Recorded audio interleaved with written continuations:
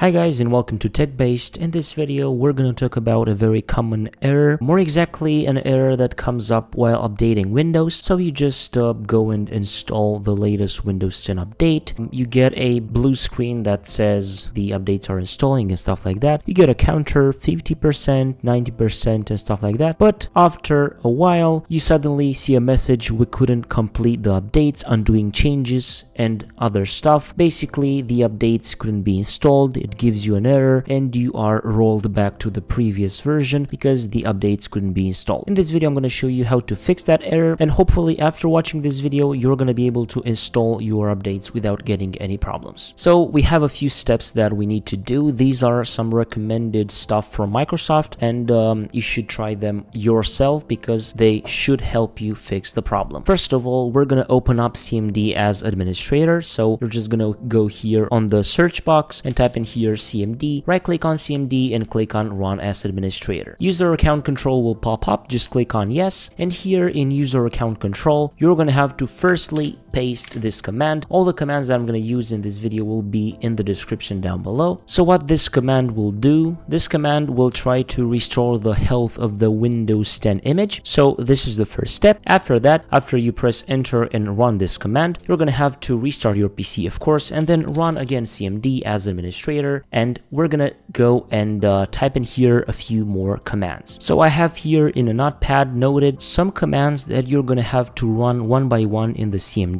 and uh, these commands will restart the Windows update services and like that everything should be refreshed and the Windows and Windows updates should work properly. So just go and copy and paste one by one these commands in your CMD press enter to run them and do that for all of them. Easy as that. All the commands will be in the description down below. I say that again. So you're gonna find them down below in the description. So after you do all this you restart the Windows update services. Now we're sure that Windows Update services should run properly and we don't have any issues there. So after executing the commands, uh, we should do a, a, clean boot to disable third-party background services uh, that may be interrupting with the Windows Update services. So that's another method to fix this problem. To do that, we're just going to have to click on the search box and type in here msconfig, click on system configuration. Then you're going to have to go to the services tab in this window. Here, we're going to have to firstly go and check this box, hide all Microsoft services to be sure that all the Microsoft services are